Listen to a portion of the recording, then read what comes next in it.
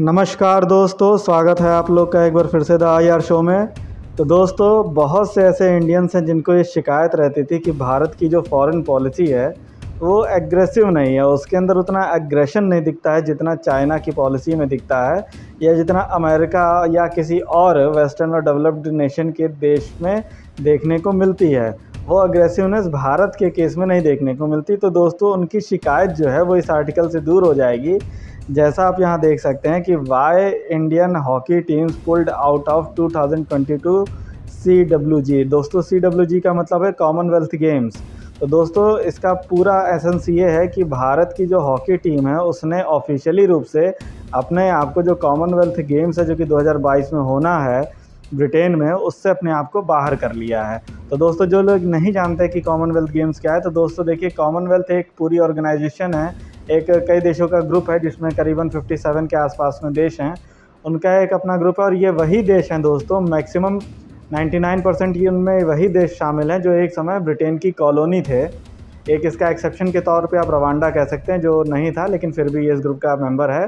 तो ये एक तरीके से पूरा वही देशों का ग्रुप है जो एक समय ब्रिटेन के गुलाम थे या उनकी कॉलोनी का हिस्सा थे। तो बाद में भी ब्रिटेन से ग्रुप के रूप में जुड़े रहने के लिए ग्रुप बना और जिसमें गेम्स का भी आयोजन किया जाता है। तो कहीं ना कहीं ये ब्रिटेन के लिए एक इज़्ज़त और साख का एक बहुत बड़ा एक समारोह होता है, एक ऐसी सेरेमनी होती है जिसमें अपनी ब्रिटेन जो है, एक कहीं ना कहीं अपनी जो है ग्लोरी दिखाने की कोशिश करता है उन गेम्स के ज़रिए।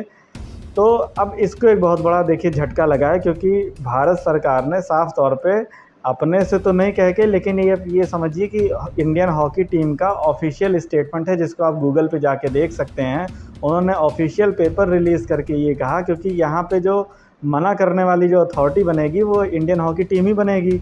तो उसने साफ़ तौर पे अपने ऑफिशियल जो नोटिफिकेशन है, उसको प्रेस में रिलीज़ करके कह दिया है कि वो ब्रिटेन में होने वाले 2022 के कॉमनवेल्थ गेम्स में हिस्सा नहीं लेगी। और इस चीज़ की दोस्तों, ऐसा नहीं है कि चर्चा नहीं हो रही। चर्चा इसकी बहुत ज़्यादा हो रही है, ख़ास तौर से इंडिया को लेके, क्योंकि इंडिया ने एक के बाद एक दूसरा ये बहुत बड़ा झटका दिया है ब्रिटेन को उसकी पॉलिसीज़ को लेके। वो भी इन्होंने साफ़ साफ़ अपने स्टेटमेंट में ये कहा है कि due to the discriminatory policy of the Britain क्योंकि दोस्तों, आपको मालूम होगा कि अभी कुछ दिन पहले ही जो है ब्रिटेन ने अपनी ये पॉलिसी निकाली, जिसमें उसने कुछ देशों के जो लोग हैं, उनको अपने आने की इजाज़त दी, जबकि भारत जैसे देश के जो नागरिक हैं, उनको आने पर 10 दिन के क्वारंटाइन का रूल बनाया। तो दोस्तों, जबकि भारत ने इसका विरोध किया था, क्योंकि भारत ने कहा कि जो दवा आपके यहाँ बन रही, वही दवा हमारे यहाँ भी बन रही, लेकिन आप उसको जो है आप क्यों अलाउ नहीं कर रहा हो? तो इसके बाद उन्होंने ये कहा कि आपकी दवा से हमें प्रॉब्लम नहीं है, आपके हमें सर्टिफिकेशन प्रोसेस से प्रॉब्लम है। जो आपका सर्टिफिकेशन का प्रोसेस है, हमें उसी से दिक्कत है। तो इसको लेके भारत ने अपना विरोध भी दर्ज किया, लेकिन ब्रिटेन नहीं माना। तो फिर भारत ने क्या किया कि अपनी भी एक पॉलिसी ले आ दी, लोगों की एंट्री को लेके। तो उसमें उन्होंने क्या किया कि यूके को भी उन देशों की कंट्री में उन देशों की लिस्ट में शामिल कर लिया, जिसमें ब्रिटेन के अगर नागरिक भारत आते हैं तो उनको भी जो है दस दिन के क्वारंटाइन से गुजरना पड़ेगा।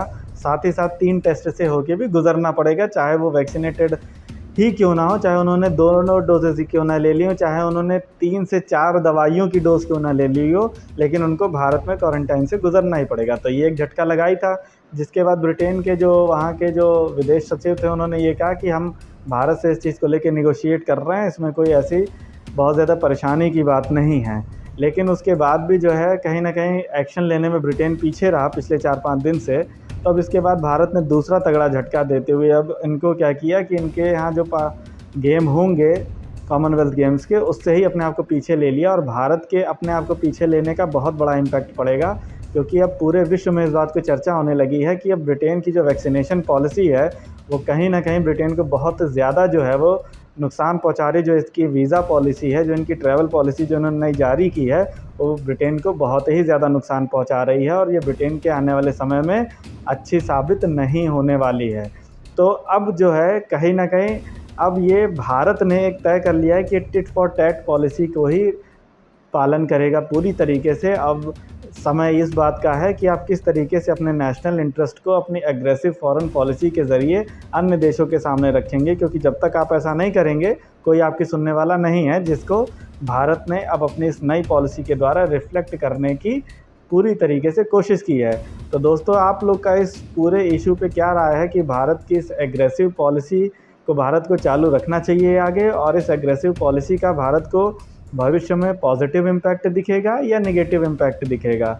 आपकी दोस्तों, जो भी राय हो, आप अपनी इस राय को कमेंट बॉक्स में ज़रूर शेयर करिए। वीडियो को ज़्यादा से ज़्यादा लाइक करिए, दूसरों के साथ ज़्यादा से ज़्यादा शेयर कीजिए। थैंक यू दोस्तों thank you for watching the video जय हिंद, जय भारत।